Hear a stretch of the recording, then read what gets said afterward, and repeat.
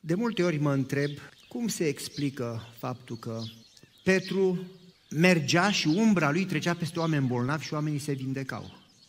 Cum explicați treaba asta? Că Petru se duce la Tabita sau Dorca sau așa, care era moartă. Și în loc să țină o predică de înmormântare, îi spune, ridică-te și mortul învie, se trezește. Nu că noi ar trebui să ne uităm după minuni. În realitate, noi trebuie să ne uităm după relație. Pentru că viața veșnică este să-L cunoști pe Dumnezeu, să ai o relație cu El. De cele mai multe ori noi avem tendința ca în rugăciune să cerem o binecuvântare, să cerem un ajutor, să cerem o minune. Și minunile se întâmplă o dată la 100 de ani.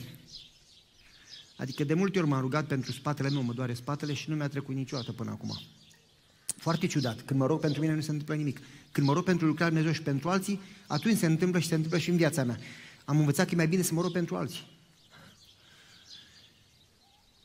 De foarte multe ori uh, suntem atât de focalizați pe nevoile personale că uităm că Dumnezeu ne-a chemat să ne focalizăm pe El, pe lucrarea Lui. Cum de ucenicii aveau atâta succes?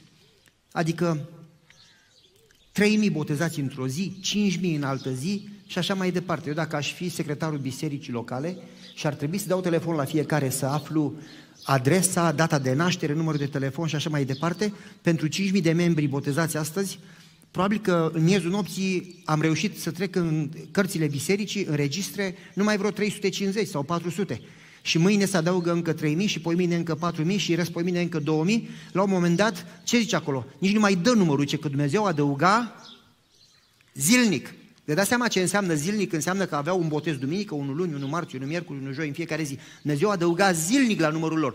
Și biserica, o mână de oameni, o mână de oameni, fără bani, fără internet, fără media, niciun fel de mijloc, fără transport, persecutați. O mână de oameni au reușit să evangelizeze toată, toată lumea cunoscută pe vremea aia în 32 de ani. Cum s-a reușit asta? Biblia spune clar, nu este prin putere, nici prin tărie, ci prin Duhul meu. Iisus spune foarte, foarte, foarte, foarte clar. Spune, este mai bine pentru voi dacă mă duc, pentru că dacă mă duc, vă voi ruga pe Tatăl și El vă va trimite Mângâietorul, Comforter, Duhul Sfânt. Vă va trimite Duhul Sfânt. Iar Duhul vă va conduce în toate lucrurile. În altă traducere, în tot adevărul. E mai bine să mă duc, pentru că atunci veți primi Duhul Sfânt. De asemenea, Iisus le spune ucenicilor, nu vă depărtați din cetate, nu plecați, nu vă duceți la lucru. Rămâneți în cetate și rugați-vă. Cât? Să ne rugăm o săptămână, o lună, 40 de zile. Rugați-vă, rugați-vă, rugați-vă, rugați-vă, rugați-vă. Până când? Până veți primi Duhul Sfânt. Când veți primi Duhul Sfânt, veți primi o putere. Atunci duceți-vă. E o condiție pentru a face lucrarea lui Dumnezeu, trebuie să fim plini cu puterea lui Dumnezeu. Nu se poate face lucrarea lui Dumnezeu în putere omenească. Lucrarea lui Dumnezeu se face în putere dumnezeiască. Lucrările omenești se fac în putere omenească. Dacă vrei succes în lucrarea lui Dumnezeu, trebuie să te asiguri că ești plin de Duhul lui Dumnezeu. Oamenii credinței au fost oamenii a rugăciunii. Mi-amintesc, for instance, de exemplu, de o experiență din, uh, probabil că dumneavoastră ați auzit-o, probabil că nu, nu este foarte important dacă ați auzit-o sau nu. Uh, vreau să vă dau numele corect. Uh, mă uit aici după ea. Am găsit-o. Este o experiență din uh, Siberia, este foarte interesantă. Uh, am găsit uh, PowerPoint-ul, dar încă n-am găsit slide-ul. Este extraordinar de interesant faptul că un grup de, uh, în sfârșit, nu găsesc locul, uh, o, să, o să-l găsesc, un, o biserică în Siberia de numai 20 de oameni a scăzut la 8 oameni, dintre care era pastorul cu soția lui doi, și încă șase membri. Lucrau departe de localitatea unde trăiau ei, familiile erau undeva mai în sud și ei mergeau la uh, locurile din Siberia de unde trăgeau petrol. Și veneau acasă, o dată la trei luni, stăteau câte o săptămână, plecau iar.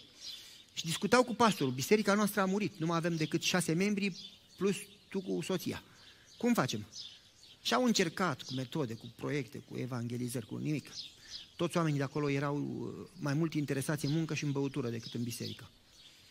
Și s-au gândit să se dedice cu totul rugăciunii. Și s-au gândit la paragrafele din profetic unde spune, ascultați cu atenție, motivul, îmi traduc din engleză, s-ar putea să nu fie cuvânt, cuvânt în română la fel în spirit profetic. Motivul pentru care lucrătorii lui Dumnezeu nu au succes este că ei se încred prea mult în metodele, strategiile și înțelepciunea umană și prea puțin în puterea lui Dumnezeu și în rugăciune. Ați auzit? Motivul pentru care nu avem succes. S-au hotărât oamenii ăștia să se roage, s-au dus la gheață, probabil că ați auzit istorioara, am, așa cum am zis, locația și anul, trebuie să o caut pe computer, s-au dus la gheață, unde mergeau ei să pescuiască, unde făceau câte o tăietură în gheață și stăteau acolo să prindă pește, au spart gheața unde pescuiau, s-au băgat în gheață toți. Deci, deci am putea să facem treaba asta în casă la sobă, dar de câte ori intrăm în casă, de atâtea ori adormim. Ce vrem să fim atenți, să fim focalizați pe rugăciune. S-au băgat în gheață, au apoi ieșit, s-au rugat. Așa în fiecare zi, o zi, două, trei, un an. Peste trei luni aveau 20 de membri, peste șase luni aveau vreo 200, peste un an, uh, nu mai amintesc numărul, am pe computer, dar au plantat încă, nu numai biserica aia a crescut, dar încă în cinci saturi împrejur au plantat biserici. Pentru că oamenii s-au dedicat rugăciunii, cerând puterea Duhului Sfânt, revărsarea Duhului Sfânt asupra lor. Sora îi spune așa, lucrarea a început prin revărsarea Duhului Sfânt sub forma ploii timpurii și se va încheia prin o revărsare puternică de Duhul Sfânt sub forma ploii târzii. Cât de mult ne rugăm pentru Duhul Sfânt? Mi-amintesc când eram mai mic, eu nu dorm foarte mult, dar mănânc foarte mult. Nu că mănânc cantitativ mult, ci mănânc des, cantități mici, des. La fiecare patru ore mă apucă foamea. Și mi-amintesc că la ora 6 seara mâncam, pe la 10 mâncam iar. Pe aceea, pe la două noaptea treceam din cameră în cameră, cum era apartamentul la lung și ultima era bucătăria, și mă duceam și mâncam. Sorele mele dormeau, mama dormea, tata se ruga. Și după aceea, pe la două noaptea mâncam iar și pe la șase dimineața mâncam iar. Și când treceam, de multe ori găseam pe tatăl meu încă rugându-se și îl întrebam, de ce te rogi mai așa de mult?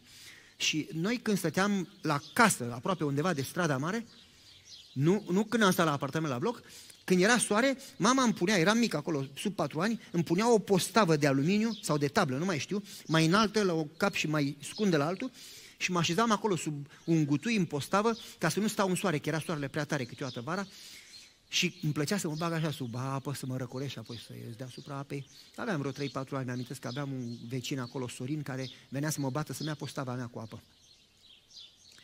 Și eu acum, când eram mai mare, l-am întrebat pe tata, ce te rogi atâta? Și spunea, mai tată, când pleci din casă, dacă nu ești plin de prezența lui Dumnezeu, atunci tu ești un creștin fără Dumnezeu. N-ai decât teoria și doctrina lui Dumnezeu, n-ai și Dumnezeul doctrinei. Când ești din casă, dacă nu ești plin de prezența lui Dumnezeu, ce spune Iisus în Ioan 15? Eu sunt vița, voi sunteți mlădițele. Separați de mine, nu puteți face nimic. Dar dacă rămâneți în mine și eu în voi continuu, veți aduce mult rod. Motivul pentru care noi nu aducem roade este pentru că de multe ori, deși știm doctrinele și le ținem, ne separăm de relația cu Hristos. Când zice rugați-vă fără încetare, nu înseamnă să cerem fără încetare, înseamnă să fim conectați fără încetare. Să fim tot timpul legați de sursa puterii. Și tatăl meu spune așa, mă rog până sunt sigur că sunt plin de prezența lui Dumnezeu, ca atunci când plec mâine la treabă, să pot să umblu cu Dumnezeu, să nu mă separ de El. Și zic, și de ce trebuie să te rogi atât de mult? Păi ce mă rog pentru biserică, mă rog pentru tine, pentru sorele tale, pentru maică ta. Păi zic, n-am nevoie să te rogi pentru mine atât de mult. Și că vezi, de aia mă rog pentru tine mult. Că zici că n-ai nevoie.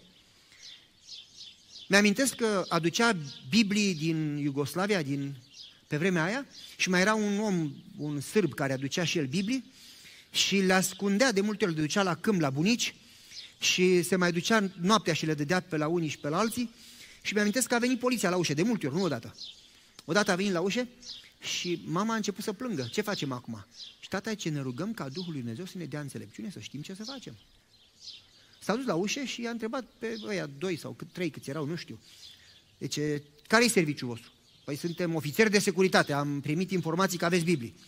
Păi și dacă serviciul vostru este... Deci aveți Biblie sau nu? Și tata ce? Păi dacă eu vă spun, înseamnă că eu fac serviciul vostru, îmi trebuie salariul vostru. Dacă vreți să faceți serviciu, să vă meritați salariul, haideți în casă și căutați. Vedem dacă găsiți vreo Biblie. Păi ea s-a uitat unul altul și că înseamnă că n-are și au plecat. Și noi aveam peste 40 de cutii de Biblie în mijlocul sufrageriei. Ce? I-a zis mama, cum te-ai gândit la asta? Nu m-am gândit, m-am rugat. Ca Dumnezeu să-mi pună în inimă, să-mi, să dea cuvintele care să le spun. Trebuie să umblăm cu Dumnezeu până la nivelul la care depindem de El. Iisus nu vorbea, zice, cuvintele care vorbesc nu sunt cuvintele mele, ci cuvintele care mi le dă Tatăl. Nu pentru că Iisus nu avea creier să vorbească, ci pentru că depindea de Dumnezeu. Spune Sorait că în fiecare dimineață, în fiecare dimineață se trezea de vreme, se ruga și primea de la Tatăl planurile pentru ziua respectivă. Și apoi spune așa, la fel ar trebui să facem și noi să prezentăm planurile noastre înaintea lui Dumnezeu și să fim gata să renunțăm la ele sau să le împlinim după cum e voia Lui. Și apoi să primim planurile Lui și să ne sacrificăm pe noi, să uităm de noi și să avem încredere că El poate să aibă grijă și de planurile noastre și că dacă noi îl punem pe El primul, El va merge înaintea noastră, se va lupta pentru noi și noi nu trebuie să ne stresăm, nu trebuie să ne zbatem cu ale noastre, pentru că El se va lupta cu ele. Asta cere multă credință și o, o, o, o renunțare, o, o predare totală a planurilor personale. Vreau să vă dau uh, câteva exemple. Uh,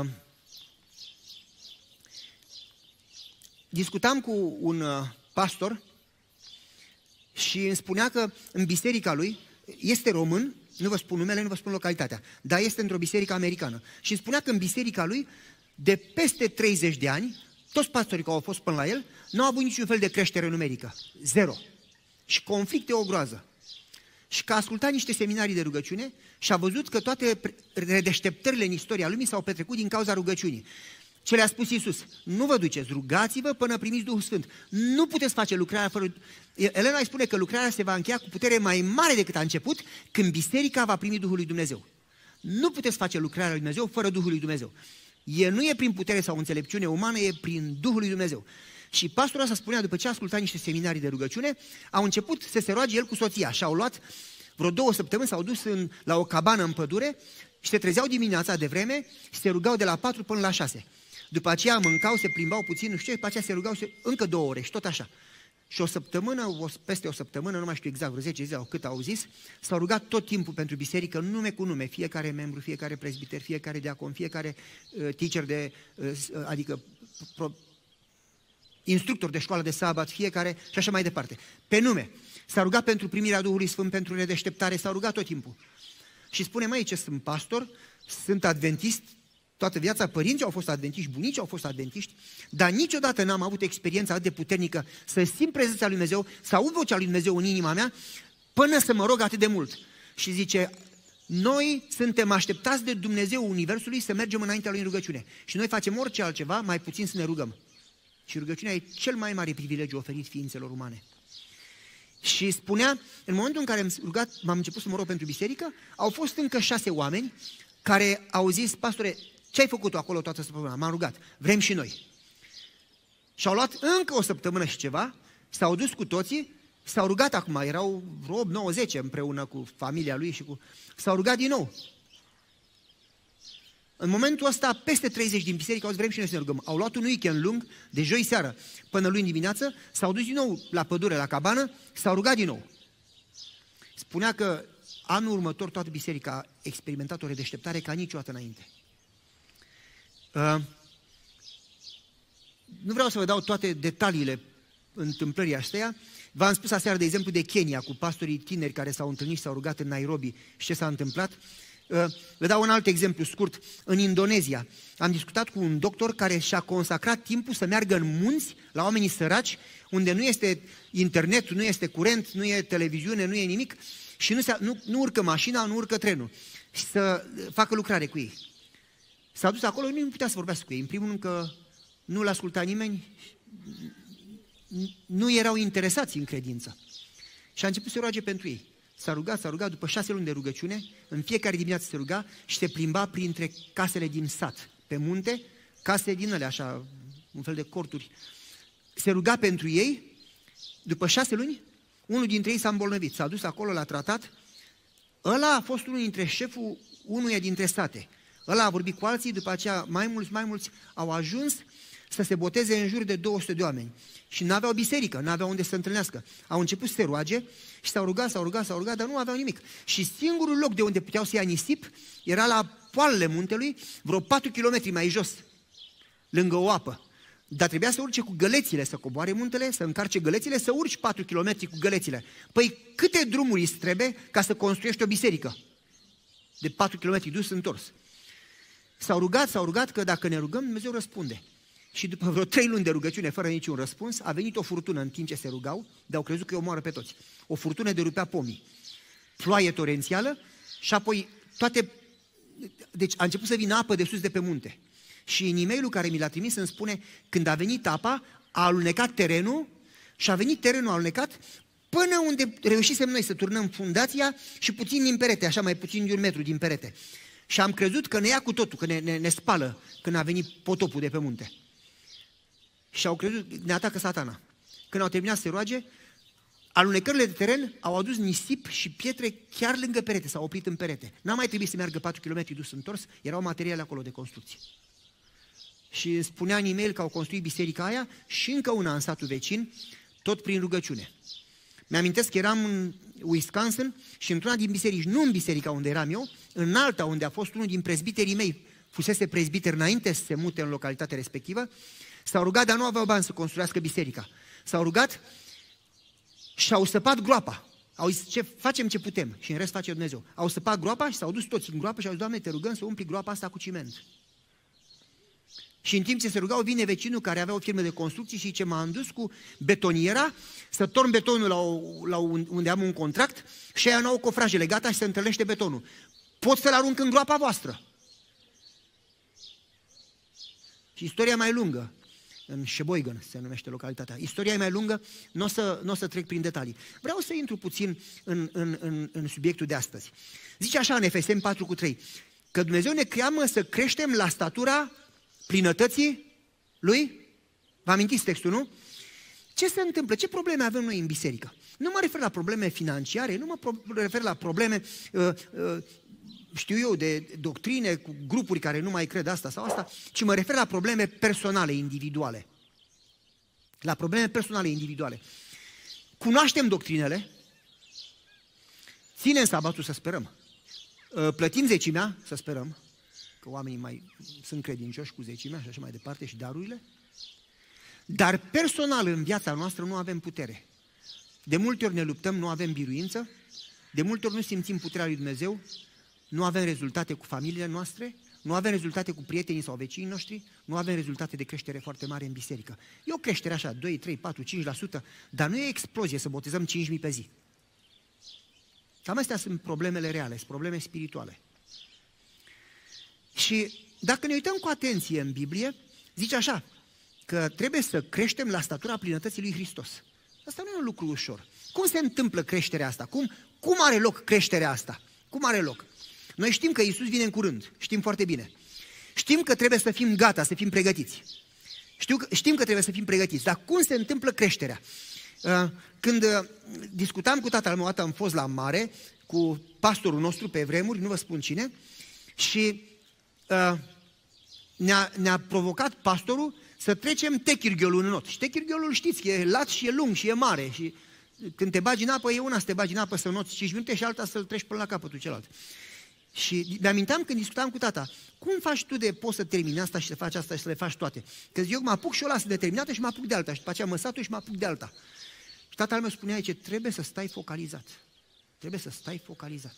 Deci tu ți amintești că bunica ta nu avea ochelari, avea o lupă cu mânerea așa și mare. Și când citea Biblia, tu te duceai și furai lupa. Când se ducea și se culca puțin, lua așa un somn scurt, un pui de somn, când zicem noi, un cocoș de somn, îi luai lupa cu care se uita așa la Biblie și mărea literele până vedea bine, fugeai afară și puneai hârtii. Și puneai lupa la soare și când o focalizai bine, ce se întâmpla cu hârtiile? Luau foc. Și tatăl meu spune, pentru că te focalizai acolo, focalizai raza aia de soare, lua foc. Și spune, îmi spunea mie, pe ce te focalizezi? Pe aia te aprinzi. Zic, adică ce vrei să spui? Dacă te focalizezi pe prietena ta, că pe atunci eram prieten cu Dana, zice, arzi de iubire, ei foc. Dacă te focalizezi pe politică, ei foc cu politica. Dacă te focalizezi pe business, toată viața ta e despre business. Dacă te focalizezi pe Dumnezeu, e un foc care nu poate stinge nimeni, te arde. Cum spune aici, râvna pentru ca să te mă mănâncă. Iar sora îi spune că atunci când îl cunoaștem pe Iisus cu adevărat, e un foc care nu se poate stinge, nu-l putem stăpâni. Și spune însă, cei care nu au fost convertiți cu adevărat, n-au această pasiune de a-i servi lui Dumnezeu. Merg la biserică și ce confundă religia cu un set de forme reci. Fac asta, fac asta, fac asta. Confundă religia cu un set de forme reci. N-au o pasiune pentru a-i servi lui Hristos. Cei care îl cunosc pe Hristos îi servesc din inimă și nu cu, cu, cu așa cu tristețe. Aoleu, trebuie să mă duc și la Evanghelie. Cu toată dedicarea, cu toată inima. Și tatăl meu zice, când te focalizezi pe Hristos, te-a prins pentru Hristos. Pe ce te focalizezi? Pentru asta ei foc. Ești ca un foc, nu te poți opri. Și îmi spunea, zice, când te apuci de un lucru, nu trebuie să te lași distracti, să, să atragă atenția nimic altceva, ci trebuie să te focalizezi pe lucrul ăla și dacă te focalizezi, o să-l termini. Nu începi unul, începe altul și nu termini nimic. Îl, și îmi zicea tatăl meu, nu e destul să te însori, trebuie să stai însurat. Nu e destul să mergi la școală, trebuie să graduezi, trebuie să termini. Nu e destul să te botezi, trebuie să ajungi și în cer. Noi ne bucurăm când se botează un suflet, oh, s-a botezat un suflet, praise the Lord, hallelujah. Problema e, peste 20 de ani mai e în biserică. Și dacă e în biserică, creează probleme sau este sănătos și activ? Cum vă spuneam, am mers la mare cu fratele pastor și hai să sărim în Techirghiol să trecem în not. Acum erau acolo din ăștia mai puternici, nu o să vă spun numele care dintre ei, băieți buni, că suntem prieteni, așa că nu vreau să-i dau de gol, Schwarzenegger, adică aveau mușchi, aveau... Uh, eu eram... Și cu prietenul meu al bun, nu eram foarte grași. Și prietenul meu notă repede, eu sunt încet, adică am rezistență, pot să not și 10 ore, nu obosesc. Când am fost de mult, de, la munte de multe ori, prietenii mei oboseau, îi dor mușchi, nu oboseam, puteam să merg până muream, nu obosesc. Înotam încet, dar tot timpul, nu oboseam. Ăia care sunt mai tare așa și unul din ei, nu o să spun cine, a intrat așa ca vigilia, tup, tup, tup, tup, tup, tup. Eu n-am viteză, dar mi-am impus un ritm. Mi-a stat al meu, mi-a zis să mă focalizez pe țintă, să-mi pun ochii pe țintă și să nu mă las uh, atras de niciun fel de alte subiecte, de niciun fel de alte ocupații, să nu fiu distractit, cum să zic eu, să nu fiu, uh, nu știu cum să zic, nu contează, să nu mi se atragă atenția în altă parte, să fiu focalizat pe țintă. Și am început să încânt în minte, nu o să o niciodată, ne așteaptă un cămin strălucit. Ne așteaptă un cămin strălucit. Cântam și dădeam. În credință, ăla care v-am spus eu s-a dus. Și după aceea a obosit. Ceilalți mai notau, mai nu știu ce. Eu în urmă, dar mergeam. După aceea, câțiva au obosit, s-au oprit să respire, eu... Pam, pam, pam, pam, pam, pam, pam, pam, tam, tam, tam, tam, tam, tam. Aia au obosit, au văzut că ajunge, nu mai iar. Eu cu prietenul meu, el mergea mai repede ca mine, dar nu obosea nici el. Dă-i tot încet și înainte. La un moment dat, unul câte unul s-au suit pe saltele pneumatice, au rămas numai vreo 2-3 acolo în apă, care au trecut cu adevărat lacul. De ce? Când am trecut lacul, încă eram pam, pam, pam, pam, pam, pam, pam, pam, pam. Și când m-am oprit, mâinile tot așa îmi făceau, știți? îți pui ochii pe ținta, pe căpetenie, pe Isus și nu lași ca nimic să-ți atragă atenția de la ținta care ți-ai pus-o. Cât de mult suntem noi legați de Isus până la punctul în care să fim dispuși să ne trezim dimineața de vreme, să petrecem timp de calitate în studiu și rugăciune, să ne consacrăm cu totul. Pionierii mișcării advente s-au consacrat cu totul. Când zic cu totul, nu numai viața lor, tot ce aveau, nu mă refer la bani, noi îl predicăm pe Hristos, nu predicăm bani. Nu mă refer la bani, dar au consacrat tot ce aveau, casele lor, băncile unde aveau banii din bănci, ă, sănătatea, ă, bicicletele, că nu aveau mașini, ă, caii, tot ce aveau. Au zis, vine Iisus, vine Iisus, trebuie să ne predăm absolut cu totul. Tot ce suntem, tot ce avem, familii, sănătate, ne predăm cu totul. Vine Iisus să terminăm lucrarea.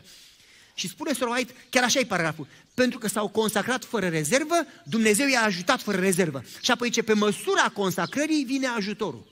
Ați auzit, fraților? Pe ce măsură vine ajutorul? Pe măsura consacrării. Oamenii ăștia care au făcut treabă au fost oameni consacrați fără rezervă. De ce avem noi probleme în biserică? Pentru că credem că e suficient să faci un pas și apoi poți să te oprești. Ne botezăm, s-a botezat fratele, praise the Lord, hallelujah. Și după aceea, peste 40 de ani, fratele încă are diaper. Și încă miroase. Adică nu e suficient să ai un copil, să ți se nască un copil, un nepoțel, știu eu. E așa de scumpă, avem două nepoțele, una are șapte ani, una are șapte luni. Sunt așa de scumpe că îți vine să le mănânci. Te bucuri când se naște copilul. Dar dacă peste 20 de ani copilul încă uh, are diaper și ua, ua, copilul trebuie să crească, mă frate. Dacă copilul nu crește, du-te la doctor că e bolnav. Dar în biserică, de multe ori noi nu creștem și nu ne ducem la doctor. Se botează și peste 15 ani cântă cântarea și ce nu mă aplauda nimeni, nu mai vin la biserica asta. Oh, come on! Oh, pastorul a zis așa de mine, nu mai mă duc. Sunt la conferință. Trebuie să crești, frate. Te maturizezi, să nu mai bei lapte. Să crești la statura plinătății, maturitate spirituală. Noi vorbim de naștere din nou. Dacă vorbești de creștere spirituală, aoleu, ești legalist. Păi dacă ai pe Hristos în inimă, Hristos îți aduce creștere. Dacă ai Duhul Sfânt în inimă, Duhul Sfânt îți aduce roade. Roada Duhului Sfânt. Dacă n-ai roade, Iisus spune că îi veți cunoaște după? Nu e puterea ta să faci roade și roadele nu-ți dau niciun merit la, la mântuire. Ești mântuit prin har, prin credință. Dar dacă l-ai pe Iisus, dovada că l-ai pe Iisus este că crești. Și nu contează că ești aici, sau aici, sau aici. Că ești tâlharul de pe cruce, sau uh, Maria, sau pa- Ma- Ma- Maica Tereza, sau Pavel Apostolul. Nu contează unde ești în creșterea spirituală. Cât timp ești în Hristos, ești mântuit. În momentul în care te-ai separat, ești pierdut. Dar în momentul în care Iisus e în inimă, tu crești, crești, crești, crești. Prezența Lui aduce rezultate. Deci așa, dacă vă despărțiți de mine, nu puteți face nimic. Dacă rămâneți în mine, veți aduce mult rod. Dovada prezenței lui Isus în inimă este că avem roade. Nu prin puterea umană, ci prin prezența lui în noi. Dacă, dacă nu avem roade, dacă nu aducem rezultate, e o dovadă că avem o teorie de credință fără prezența lui Dumnezeu. Avem doctrina lui Dumnezeu fără Dumnezeu doctrinelor. Și atunci Iisus spune, nu vă cunosc. Doamne, ne-am dus la biserică, am mâncat tofu, nu-ți amintești? Am, am, am, am ținut sâmbăta. Nu vă cunosc. O relație cu Dumnezeu e esențială. Ce spune în Biblie? Ce bistilă nou. Stai liniștit și să știi că eu sunt Dumnezeu. Ce înseamnă asta? Fiți liniștiți și să știți că eu sunt Domnul. Ce înseamnă asta? Dacă te uiți acolo în, în ebraică, bistil, stați liniștit, este Rafa și să știi că eu sunt Domnul, este Iada. Rafa nu înseamnă să stai liniștit sau tăcut, ci înseamnă să nu încerci, să, să nu te agiți în prezența lui Dumnezeu să rezolvi problemele. Nu, vei, nu te la rugăciune să rezolvi problemele, frate. Dumnezeu știe problemele tale. Sora îi spune așa că Dumnezeu nu are nevoie să fie informat, știe problemele noastre, ca înainte să fie avut o problemă, înainte să ne fi născut, a știut toate zilele noastre și toate problemele noastre și a pregătit o mie de căi de scăpare când noi nu avem o cale. Îi le spune Dumnezeu ca să-i dai voie să lucreze, pentru că Dumnezeu îți respectă alegerea. Dar nu că Dumnezeu nu știe, hai să explic eu ce să facă și cum să facă și când să facă. Când te uiți în prezența lui spune, calmează-te, nu trebuie să-mi spui mie toate problemele. Zice, stai liniștit în prezența mea și Iada, Rafa, stai liniștit. Și Iada e ce a spus Dumnezeu lui Adam când i-a zis, du-te și fă copii cu soția. Ai relație intimă. Dumnezeu zice, liniștește-te și dacă vrei ceva cu mine, încearcă să ai o relație personală, să mă cunoști. Pentru că problema ta reală nu e problema care crezi tu cu ai. Asta de sănătate, asta de divorț, alea sunt probleme reale tu. Dar problema reală care o ai este că nu mă cunoști pe mine. Pentru că în momentul în care tu ai o relație cu mine, toate celelalte dispar. Tatăl meu îmi spunea, măi, oamenii care au probleme mari au un Dumnezeu mic, că dacă ai un Dumnezeu mare, probleme mici. Ce gândește la David, cât de mic era, dar avea un Dumnezeu mare. Când s-a dus înaintea lui Goliat uriașul, ce băi, lasă-mă, tu vii cu suliță, cu... dar el vine în numele lui Dumnezeu, pentru că îl cunoștea pe Dumnezeu și problema lui era mică. Nu că nu ai probleme, ci că spui ochii pe Dumnezeu tău pentru că îl cunoști și știi că Dumnezeu e puternic, știi că Dumnezeu te iubește și știi că dacă El e cu tine, nu se poate întâmpla nimic decât dacă El îngăduie. Și dacă El îngăduie, înseamnă că ai nevoie, pentru că toate lucrurile lucrează împreună. Problema reală care o avem noi, din cauza căruia nu avem succes și nu avem creștere spirituală în viața personală sau în relația cu alții sau în biserică, este că noi încă ne focalizăm foarte mult pe metodele umane și foarte puțin pe relația cu Dumnezeu, pe prezența Lui în viața noastră, pe plinătatea Duhului Sfânt în viețile și în bisericile noastre. Auziți ce zice aici? Deci împărăția Lui Dumnezeu se aseamănă cu 10 fecioare. Cunoașteți parabola, nu? Toată lumea, nu? Cele 10, fe... să nu mai citim, în Matei 25, o cunoaștem, să o trecem prin ea repede. Pentru că sunt aici vreo 47 de diapozitive, de slides și nu avem timp, că nu avem decât 14 minute. Uh, zice, se aseamănă cu 10 fecioare. Acum hai să ne gândim repede caracteristicile. Cele 10 fecioare erau, unul erau fecioare, da? Doi erau îmbrăcate în alb. Trei aveau lămpi, patru aveau ulei, cinci așteptau mirele. Șase, mirele a întârziat, șapte, ce s-au făcut toate? Au început să doarmă? Opt. S-au trezit câte? Toate? Nouă. Jumate din ele n-aveau ulei. Ok, să trecem puțin. Poate să fie mai multe puncte. Acum eu repede, am dat așa câteva. Erau toate fecioare. În biserică, fecioara reprezintă puritate, curăție și reprezintă biserica curată. Iar femeia prostituată reprezintă biserica decăzută. Astea toate sunt fecioare, deci sunt biserica lui Dumnezeu. Îmbrăcate în alb, toate reprezintă neprihenia lui Hristos. Aveau lampă, în Biblie spune că cuvântul lui Dumnezeu este o lampă pentru picioarele noastre. Iar în proverbe spune că legile lui Dumnezeu sunt o lampă și o lumină. Deci, deci nu numai că erau Biserica lui Dumnezeu, nu numai că aveau neprihenirea lui Hristos îmbrăcate în alb, dar au cuvântul lui Dumnezeu, au adevărul, au doctrina curată, biblică, au poruncile. Ce biserică are poruncile lui Dumnezeu? Ok. Dar nu numai atâta, așteptau mirele să vină. Ce biserică e așteptătoare? Păi spune numele, nu-i așa? Sora îi spune că se referă la Biserica lui Dumnezeu din ultima generație, înainte de revenire. Chiar așa spune în parabole. Din ultima generație, înainte de revenire. Acum, toate astea zece au lămpi, au cuvântul, au ulei. Ce este uleiul? Duhul lui Dumnezeu? Când s-au botezat, au primit Duhul Sfânt. Ok. Mă ascultați-vă cu atenție. Au focul care luminează și de energie și curăță și așa mai departe, dar mirele întârzie. Și mirele vine la miezul nopții. De ce era anunta seara? Când am fost în Dubai și am fost de multe ori pe acolo, prin Middle East, prin zona aia, președintele conferință, scuzați-mă, m-a luat de la aeroport să mă duc la întâlnirea cu pastorii. Mi-a zis, întâlnirea începe foarte târziu, la noapte la 9, la 10 începem. Și după aceea zice, la noi nunțile se fac noaptea, zice, când facem un barbecue, ne ducem afară să mâncăm, ne ducem noaptea, când e vreo graduare, vreo petrecere, ziua cuiva de naștere, ne întâlnim noaptea, zice, de obicei nu la 9-10, ne întâlnim după două noaptea. Și au rămas așa puțin, dar de ce? Păi ce, afară, acum sunt peste 60 de grade Celsius la umbră. Vă dați seama. Și ce dacă te lasă acolo în deșert, te amețești de soare până să ajungi la mașină. Dacă pun un nou, în câteva secunde e copt. Și ce e prea cald ziua, noaptea când se răcorește, atunci avem nunțile. De ce făceau ăștia nunțile noaptea? Că era răcoare. În miezul nopții, ce se întâmplă când mierele întârzie? Toate adorm. Vreau să vă dau punctul cel mai important. De ce trebuia să aibă ulei în lămpi? De ce trebuia să aibă ulei? Ca să ardă? Focul fără încetare. De ce trebuia să aibă foc? Aici e întrebarea. Că focul poate să reprezinte mai multe lucruri, curăție, pasiune, dedicare, zel pentru lucrarea Dumnezeu, dar în același timp lumină, focul făcea lumină. Păi să vă spun, dacă vă uitați în tradiția palestiniană, în tradiția iudaică de asemenea, în istorie de asemenea, spune așa, că nunțile se făceau noaptea, că era răcoare, și acum ascultați cu atenție, adulții pregăteau nunta și tinerii li se dădea o lampă micuță, și am pozele pe computer, așa e micuță lampa, și un container, zice, un vas de clay, de, de, de lut, un vas, ascultați cu atenție, cu ulei de rezervă. Ce am zis acum? Ulei de Asta e cheia, țineți minte. Li se dădea o lampă și ulei de rezervă. Și spune așa tradiția, uleiul din lampă dura vreo patru ore și uleiul din vasul de, de lut de rezervă dura între 6 și 8 ore.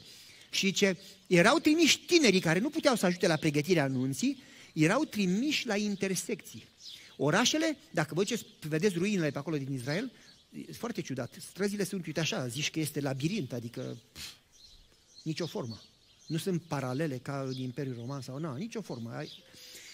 Străzile n-aveau nume. Nu era strada mare, strada centrală, strada 11, strada 26, n-aveau nume, n-aveau număr. Păi dacă locuiești în oraș, tu știi cum să ajungi de la Maria la Iosif. Dar dacă vii din alt oraș noaptea, fără nicio lumină la nuntă, cu străzile alea, te pierzi, frate. Și spune așa tradiția și istoria, că tinerii mergeau seara la intersecții de la intrarea în oraș, la fiecare intersecție, la toate drumurile și luminau drumul până la sala de nuntă, ca nimeni care vine la nuntă să nu se piardă. Care era rostul uleiului și a luminii? Ce spune Iisus? Voi sunteți lumina lumii. Rostul era să lumineze, iar sora îi spune așa în parabole, deci noi suntem chemați să luminăm drumul la nunta mirelui, ca nimeni din jurul nostru să nu se piardă. Iar dacă noi nu suntem o lumină, vom fi responsabili pentru cei pierduți. Noi suntem chemați, suntem chemați să luminăm drumul. Noi suntem chemați să fim lumină. În momentul în care nu ești lumină, nu intri în împărăție. Deci, care era rostul uleiului? Să fie o lumină la toate intersecțiile, ca nimeni să nu se piardă, să ajungă toți la nuntă. Ok. Aveau lămpi au avut ulei toți. Câți dintre ei au avut ulei și, și, și, și foc la început și lumină? Toți. Și spune Soaia că n-a fost nicio deosebire între ei în biserică și unii și alții, ca greu cu neghina, nicio deosebire. Toți zic, pacea Domnului, frate, pace, vai, sabat fericit și tu. Ce faci? Bine, tu bine, mersi, pa. Aolă. Discutam cu un frate, m-am întâlnit cu el în parcare. Happy Sabat, Happy Sabat! Ce faci? Bine, tu bine, familia, bine, serviciu, bine, praise the Lord, praise the Lord, aleluia! Puf, termin de predicat și pe aceea vine la mine în office, ce pastor vreau să vorbesc cu tine. Ce anume? M-a lăsat nevastă. Păi zi mi-ai spus în parcare că faci bine, că familia ți bine. A, așa zicem noi, dar ce, we don't mean it. Nu, nu înseamnă nimic, așa e o salutare. Bă, frate, cum poți să spui sunt bine când nu ești bine? Cam așa este totul. O zâmbim, e o formă, înăuntru avem nevoie de creștere. Și o să discutăm cum ajunge, cum se face creșterea asta. Au avut toți Duhul Sfânt la început, au avut toți ulei la început, au avut toți lămpi la început, au avut toți lumină la început. Dar după aceea, toți adorm. Ce zice aici în, test, în, în Testimonii Mărturii, volumul 2, Mărturii, volumul 2, auziți, pagina 205. Prin ucenicii care dorm în Biserica lui Hristos, se reprezintă o biserică întreagă care doarme când Dumnezeu e gata să vină o biserică întreagă care doarme? Câte, câte fecioare dormeau? Ale bune sau ale rele? Toate. Și acum ascultați la paragraful următor, la pagina 337. Iisus este la ușă. Oamenii sunt în ultimele ore ale harului acestui pământ și totuși sunt plini de nebunie. Aoleu, asta e un cuvântare, că foolishness. Și ce pastorii n-au puterea să-i trezească. Pentru că, zice, acum, ascultați cu atenție, pastorii dorm și predică la oamenii, la membrii care dorm. Deci câți, câți dorm în biserică? Adică eu predic acum și sforei. Toți dormim. Și eu și noastră. Toți dormim. Ce înseamnă asta? Nu înseamnă că dormim în realitate, ci înseamnă că nu suntem conștienți de iminența revenirii. Iisus vine. Nu mai e glumă, uitați-vă în prejur. Profețiile s-au împlinit, Iisus vine. Dacă știi toate evenimentele de pe glob, ați dat seama că Iisus vine. Sora îi spune că atunci când vor începe, evenimentele se vor derula cu o rapiditate extraordinară. Rapid succession. O, o, o succesiune rapidă. Nu o să ai timp și plăgile și toate așa una după alta. Nu te pregătești în ultima clipă dacă nu te pregătești acum. Și satana spune dânsa, are interesul să ne țină ocupați cu alte lucruri, să nu avem timp de rugăciune, de studiu, de lucrare, să nu ne pregătim, să fim surprinși ca de un hoț. Și acum, ce se întâmplă cu astea? Exact când trebuia să fie treze, când se vină mirele, toate au dormit. Deci biserica doarme. Se aude strigarea, mirele vine. Ce înseamnă strigarea în profeție? Spune în, în Hristos al lumii că Dumnezeu nu face nimic fără să pregătească biserica lui. Deci înainte de potop i-a avertizat prin noi. Înainte de Sodoma și Gomora i-a avertizat prin îngerii care au mers la lot. Înainte de căderea Ierusalimului le-a spus Iisus, când veți vedea Ierusalimul înconjurat, Dumnezeu le-a trimis o avertizare ca cei care vor să asculte să nu fie surprinși. Și spune așa dânsa, la fel și la timpul sfârșitului, când vom vedea semnele, să știm că Iisus e la ușă. Vine, în sfârșit vine. Dumnezeu nu face nimic fără să ne pregătească. Strigarea, iată mirile vine, sunt evenimentele care se întâmplă în jurul nostru și care ne spun că astea sunt ultimele momente ale istoriei. Iisus vine, îl vom vedea cu ochii noștri. În sfârșit, vine pe nori. În momentul respectiv, câți dintre biserică se trezesc? Câți? Ale deștepte sau ale nebune? Care, ale bune sau ale rele? Care se trezesc? Toate! Nicio diferență. Dar ascultați, unele au ulei și unele nu au. De ce? Că la început toate au avut ulei. Păi să vă spun de ce. Și asta e diferența între mântuit și pierdut. Să vă spun de ce. Toate au avut ulei la început, numai că unele, spune sora White acolo, în, în parabole, pagina 408 la 411, spune așa, unele s-au dus zilnic în prezența lui să-și umple vasul de rezervă cu ulei. Ce au făcut? Zilnic și-au umplut rezerva, zilnic și-au umplut rezerva, zilnic timp de rugăciune. Dumnezeu e deasupra problemelor care le-ai tu, e deasupra ce câștigă un om să aibă tot dacă pierde viața veșnică? E mai bine să-ți pierzi un ochi, o mână, Doamne ferește, decât să pierzi veșnicia. Mi amintesc că eram în ultima mea biserică, înainte să uh, fiu chemat la confesia generală și mi amintesc că vorbeam de a doua venire și am pus doi băieți, unul în față, unul în spate, doi copii, cu o sfoară. Și cât era așa biserica de lungă, am făcut cu un nod la fiecare 10 cm. Un nod, un nod, un nod, un nod, un nod, un nod, un nod. Și le-a spus membrilor, uite, imaginați-vă că sfoara asta n-are sfârșit. Merge până la lună, până la soare, până la galaxia următoare, n-are niciun... E infinită, sfoara asta n-are. Și între fiecare două noduri, imaginați-vă că sunt 10.000 de ani. Deci aici 10.000, 10.000, 10.000, 10.000. Și aici 10.000 de ani, aia înseamnă că aici sunt 1000, aia înseamnă că aici sunt 100, aia înseamnă că aici sunt 80. Uite, acolo trăiești tu, pe punctul ăla. Și asta e totul ce te rogi. Doamne, dăm aici, Doamne, fă aici, Doamne aici. Și te focalizezi pe punctul ăla. Și Dumnezeu zice, mai, tu nu o să crești niciodată, nu o să înveți răbdarea, nu o să înveți umilința, nu o să înveți dependența de mine, nu o să înveți credința, nu o să... până nu treci prin niște greutăți, nu se curăță zgura afară și rămână aurul curat. Și e mai bine pentru tine să suferi puțin aici, dacă nu te focaliza așa de mult pe punctul ăsta, 80 de ani. E mai bine să suferi acum și să primești, nu punctul ăsta, ci uite, toată sfoara aia. Și dacă ai, ai vedea ce e în cer, tot gunoiul ăsta și toată suferința asta nici nu merită să fie comparată cu slava extraordinară care mintea umană nu poate să o explice. Și noi suntem focalizați pe punctul ăsta și uităm de veșnicie. Și Iisus spune, băi, nu te focaliza pe asta. Ei, cele cinci înțelepte, în loc să se focalizeze pe alte lucruri și să li se distragă atenția de la cele esențiale, îl pun pe Iisus, relația cu El, rugăciune, studiu, servirea lui Isus. Pe primul loc, în fiecare dimineață, sacrifică din slip, din, din somn și își fac timp, își dedică timp pentru studiu și rugăciune, își dedică timp din viață pentru lucrare, își dedică timp pentru biserică, își dedică timp pentru vecini. Îl pun pe Dumnezeu pe primul loc. Căutați mai întâi și celelalte vă promit că vi se vor da pe deasupra. Dumnezeu nu minte. Gustați și vedeți, puneți la test. Cele cinci înțelepte umplu în fiecare zi vasul de rezervă. În fiecare zi umplu rezerva cu ulei, cu prezența lui Dumnezeu. În fiecare zi. Când adorm, și unii și alții când au adormit aveau ulei, aveau foc. Dar pentru că ăștia nu și-au umplut rezerva, focul încet, încet, nu peste noapte, ci în timp așa, nu într-o zi, în 2, în 5, în 10 ani, uleiul scade mai puțin, încet, nici nu vezi când scade Duhul Sfânt în viața ta. Mai puțin, mai puțin, mai puțin, mai puțin, adormi, când te trezești, te pomenești că nu ai ulei. Și e prea târziu atunci. Frații mei, asta e diferența dintre mântuit și nemântuit. Și acea, acea voce, acea, acel mesaj groaznic, depărtați-vă de la mine că nu vă cunosc. E cel mai teribil mesaj, nu vă cunosc. Nimeni dintre noi să nu audă vocea ci să audă, veniți, servi buni și credincioși. Pentru că înseamnă să ne păcălim singuri, să mergem la biserică degeaba să uh, ținem totul degeaba dacă nu avem o relație cu Isus. Viața veșnică este să-L cunoaștem pe El, să avem o relație personală cu El. Auziți ce zice aici? Uh, vreau să sar la... Oh, oh, apropo, înainte să vă citesc paragraful, zice că toate au adormit. Ce este somnul în Biblie? Ce e somnul în Biblie? Păi dacă vă gândiți, nu spune clar, somnul înseamnă cutare. Cum spune aici, o zi înseamnă un an, nu spune clar.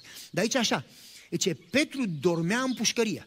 Știa că ziua următoare ăștia vreau să le execute, dar el cu mâinile în lanțuri dormea.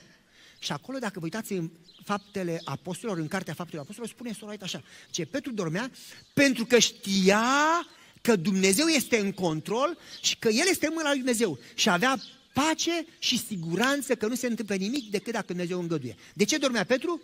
Că avea, ce anume? Pace și siguranță. Iisus dormea în, în barcă, când era furtună și ea să dea apă afară, că, Doamne, nu-ți pasă că pierim. Iisus dormea. Și spune în istoria lumii, știa că este sigur în mâna Tatălui. Că este, așa zice, safe in the hands of the Father. Că este în siguranță în mâna Tatălui Ceresc. De ce dormea Iisus? Că știa că e în mâna lui Dumnezeu în siguranță. Ce înseamnă somnul? E un sens de securitate falsă în care ce zici, sunt adventist, țin sâmbătă, cunosc adevărul, știu starea omului în moarte, știu 2300 de zile și nopți, așa, știu a doua venire, știu cu tare, merg la biserică, uh, sunt în siguranță. Somnul. Ce înseamnă că au lămpi când se trezesc, dar nu mai au ulei? Lămpile sunt formele exterioare care țin conținutul înăuntru. Au toate formele exterioare vizibile, dar nu mai au prezența. Ce tragedie! Cum se întâmplă creșterea spirituală, personală sau a bisericii, numerică? Nu se întâmplă prin forme, nu mă înțelegeți greșit, formele sunt bune. În niciun caz nu vă spun, a, nu mai trebuie să ții sabatul, nu mai trebuie să ții cină, nu mai... în niciun caz. Sunt în Biblie, Dumnezeu ni le-a dat, trebuie să le ținem. Dar singure, fără o relație personală cu Dumnezeu, n-au valoare. Trebuie pe astea să le faceți și pe celelalte să nu le faceți. Trebuie să avem, pe lângă toate formele astea care sunt bune biblice, trebuie să avem o relație strânsă, personală cu Dumnezeu. Altfel nimic nu are putere. Nu avem biruință, nu avem creștere, nu avem nimic. Fără Duhul Sfânt nu există nimic. Separați de mine, nu puteți face nimic. Ce vreau, frate, să fac roada Duhului Sfânt. N-ai cum, mă, frate, că tu ești măr și tu vrei să faci banane. Poți să încerci până nu mai știi de tine. Nu o să faci niciodată banane. Trebuie să fii banan ca să faci banane.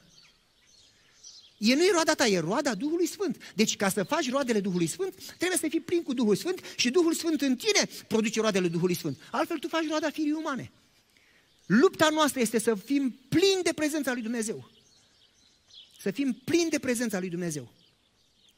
Vreau să vă citesc câteva paragrafe. Zice, eu vă botez cu apă, dar cel care vine după mine, Matei 3, vă botează cu ce? Cu Duhul Sfânt și cu foc. Noi niciodată nu vorbim de foc. Dar totdeauna când vine Dumnezeu, prezența Lui, vine foc. Când a venit prezența Lui Dumnezeu peste jertfa lui Avram, a venit foc și a mistuit-o. Când a venit prezența Lui Dumnezeu la Gedeon, a venit foc și a... Când a venit prezența Lui Dumnezeu la Ilie pe munte, a venit foc și a mistuit. Când a venit prezența Lui Dumnezeu la ucenici în camera de sus pe timpul uh, cinzecimii, au venit limbi de foc peste ei. Când vine Dumnezeu, vine și putere, și căldură, și foc, și pasiune, și tot.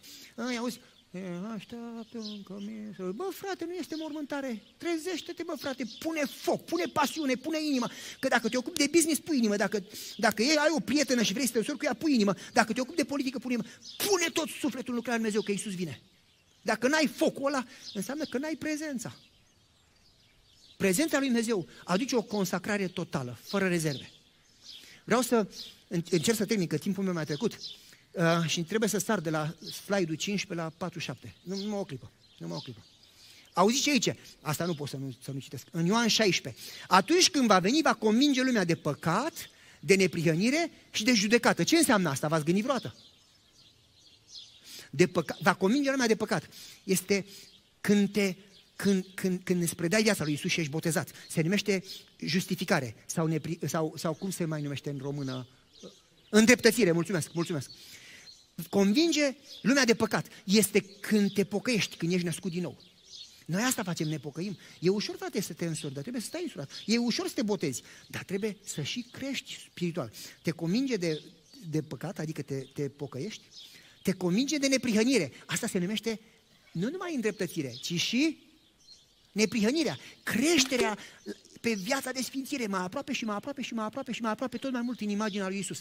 Deci, Duhul Sfânt te ajută să te pocăiești, Duhul Sfânt te ajută să te crești și de judecată. Aia este, uh, deci, uh, justification, sanctification, glorification. Adică, uh, justific, ne, îndreptățire, neprihănire și și mântuirea, sfințirea, mântuirea, ți le dă toate. Duhul Sfânt te aduce la credință, Duhul Sfânt te crește, Duhul Sfânt îți dă împărăția. Duhul Sfânt te scoate din Egipt, Duhul Sfânt te duce prin păstie, Duhul Sfânt te pune în Canaan. Nu se poate fără prezența lui Dumnezeu să faci nimic singur, nici partea 1, nici a doua, nici a treia, nici nicio parte.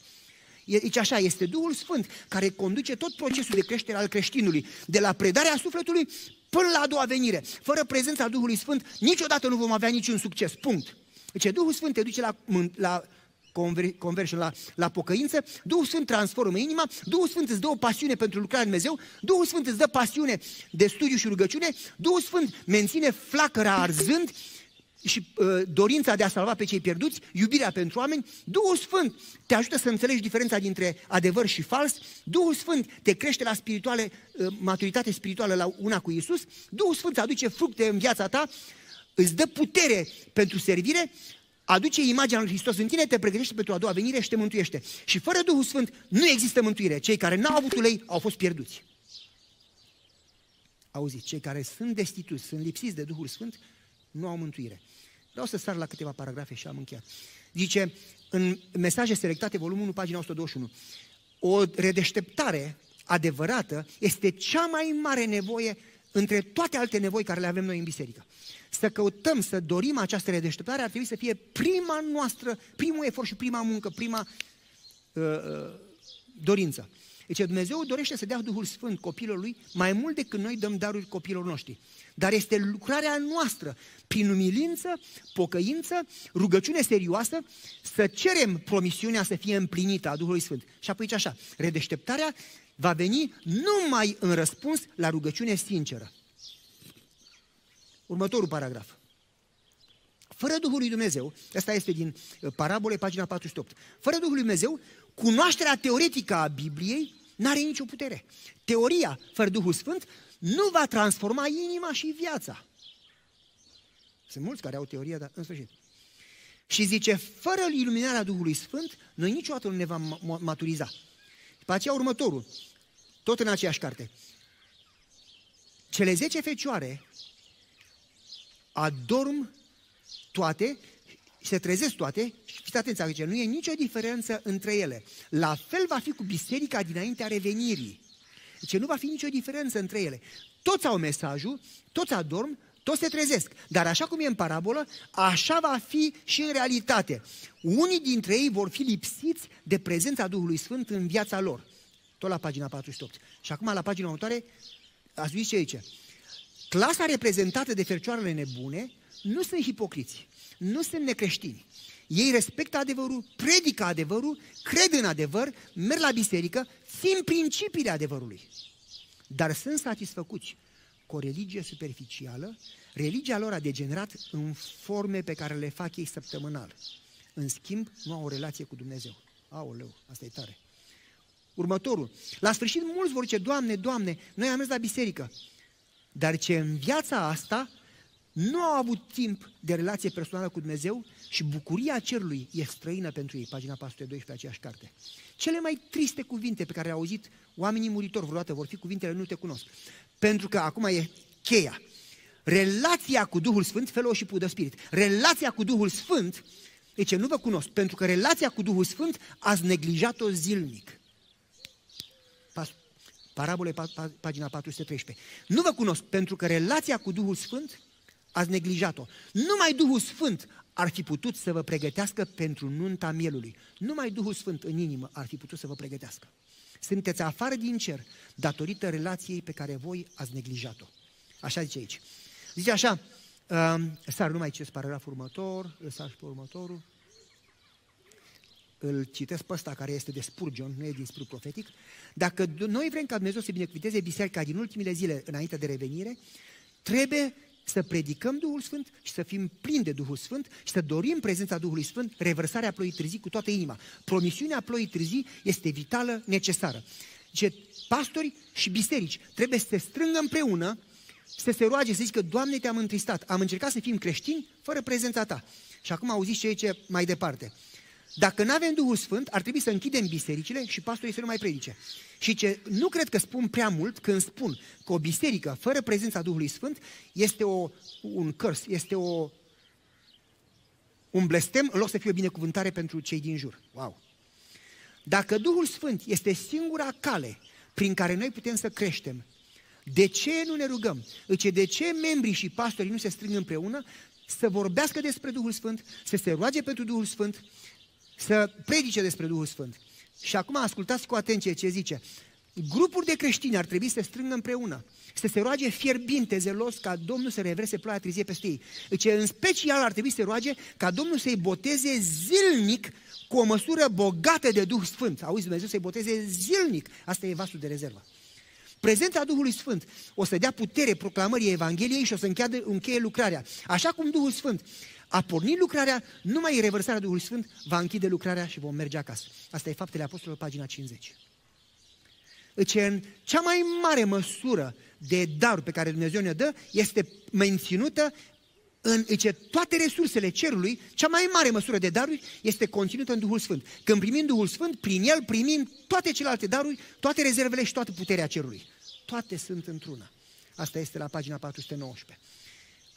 Mă opresc aici. Mi-amintesc că, vorbind de pregătire și de criză și de a doua venire, mi-amintesc că în 1977 a fost un cutremur, vă amintiți toți, nu? Și noi stăteam la un bloc cu patru etaje, era vineri seara, am venit de la adunare, am urcat sus și a început blocul să se miște. Și mama a început să țipe. Aoleu, dacă mor și nu-s mântuită, Doamne, dacă am păcate care nu le-am mărtuisit, te rog să mi le ierți. Tatăl meu a început să cânte. Stânca mântuirii tu. Mama zice, cum de când mai în timpul cu tremurului? Tata zice, păi deschid gura și încep, vine așa natural, îmi vine melodia. Și tata zice, mai, mă, mă genii, zice lui mama. Nu aștepta, mă, până vine criza să-ți rog problemele. Rezolve-le în fiecare seară. Dacă ai ceva, rezolvă. Și în fiecare dimineață, umple-te cu prezența lui Dumnezeu. Și dacă ești în, con- în continuare, fără, în permanență, în prezența Lui, n-ai de ce să te temi când vine criza. N-ai de ce să intri în panică și să disperi. Pentru că tu ești tot timpul cu El. Și dacă Dumnezeu e cu tine, cine poate să fie împotriva ta? Poate să cadă 10.000 în stânga, 10.000 în dreapta, nu 1.000. N-ai de ce să te temi. Iar dacă Domnul îngăduie să mori, înseamnă că ești gata. Peste o secundă o să fie învierea. Stai liniștită că noi avem pe Dumnezeu cu noi, noi nu suntem singuri. Nu e o teorie, e o realitate. Dumnezeu e cu noi. Mama era disperată, săracă. Cineva bate în ușă. Nea Pavele, deschide ușa! Cine bate în ușă în timpul cutremurului? Tata deschide ușa, nu țica și mitică. Vecinii noștri dincolo de ușă, față în față ușele. Nea Pavele, putem să intrăm și noi înăuntru. Măi, toată lumea fuge pe scări afară din clădire. Tu de ce vrei să intri înăuntru? Păi, dacă să cadă scările cu noi, murim. Dacă suntem în clădire, murim. Dacă ajungem jos și cade clădirea pe noi, murim. Singurul loc unde suntem în siguranță, suntem în apartamentul matale. Păi da, mă, dar așa apartamentul meu la etajul 4, face parte din clădire. Cade clădirea, cadem și noi. Și auzi ce a zis nuțica lui tata. Ce nea Pavele? Când noi toți ne zbatem, țipăm, ne certăm, ne nu știu ce, te auzim pe matale rugându-te și cântând. Te duci din ușă în ușă, le dai miere, te rogi cu noi, te rogi pentru noi. Am văzut că prezența lui Dumnezeu este cu matale și că prezența lui Dumnezeu este în apartamentul matale. Noi știm toți că cerul locuiește aici. Așa a zis, noi știm toți, toți vecinii, că Dumnezeu și că cerul locuiește aici. Putem să intrăm și noi, că numai aici suntem în siguranță, în prezența lui Dumnezeu. Tata zis, hai înăuntru. S-a oprit cu tremurul, s-a rugat pentru ei și apoi a zis, nu așteptați să vină criza și atunci să căutați prezența lui Dumnezeu. E prea târziu. Nu te pregătești pentru uh, Olympics în noaptea dinainte. Nu te pregătești pentru medicină să fii doctor într-o noapte. Îți trebuie o viață. Nu aștepta să-ți umpli vasul de rezervă în criză, că e prea târziu. Și ai tata, nu aștepta să vină cu tremurul sau criza următoare și atunci să te pregătești. Invită-L pe Dumnezeu în fiecare zi în viața ta și când vine criza, ești liniștit. Ai rezervă. Dumnezeu ne cheamă pe toți să ne consacrăm fără rezervă. Dumnezeu nu primește jumătate de inimă sau 99%. Fără rezervă. Să-L punem pe El pe primul loc. Studiu, rugăciune, lucrare. Să ne dăruim cu tot, cu ce suntem, cu tot ce avem. Fără, nu predicăm banii, dar tot ce avem, fără rezervă. Pentru că Isus vine curând. Nu mai e timp de altceva, să fim după o mie de lucruri. Nu ce nimeni să ne lăsăm serviciile, nu ce nimeni să... Dar în tot ce facem, Dumnezeu să fie numărul unu. Vocea Lui, voia Lui, lucrarea Lui să fie numărul unu. Pentru că Isus vine curând. Și aceia care îl pun pe Dumnezeu pe primul loc zilnic, tu nu poți face asta în puterea ta. Dar în momentul în care chem prezența Duhului Sfânt, pot totul în Hristos. În momentul în care chem prezența Duhului Sfânt, Dumnezeu va lucra în tine. Dumnezeu va lucra în tine. El e în stare să termine ce a început. El e în stare să mântuiască și pe ultimul. L-a mântuit pe ăla de pe cruce. A mântuit-o pe femeia de la fântână. Dumnezeu este în stare să mântuiască pe oricine. În momentul în care îi chem prezența, Dumnezeu va lucra în tine și voința și înfăptuirea. Dar trebuie să fii pe primul loc în toate. Dumnezeu ne cheamă să ne consacrăm fără rezervă. Dacă nu azi, când? Mi-amintesc că eram, mergeam la școală și treceam pe la Piața Mică și acolo era stația autobuzului nou care mergea la Șimian și când treceam pe acolo era Bairam Hasan, vindea bragă, un suc din ăla foarte bun și vindea înghețată și avea așa un cărucior pe trei roți și avea trei din alea de, de, de inox înăuntru și cu gheață între ele și avea înghețată de vanilie, înghețată de ciocolată și înghețată de, de, de pistacio, cum se zice? Fistic, mulțumesc. Băi frate, aia de fistic era așa de bună și avea și bucăți de fistic prin ea. Aoleu. Și omul a țipat tare.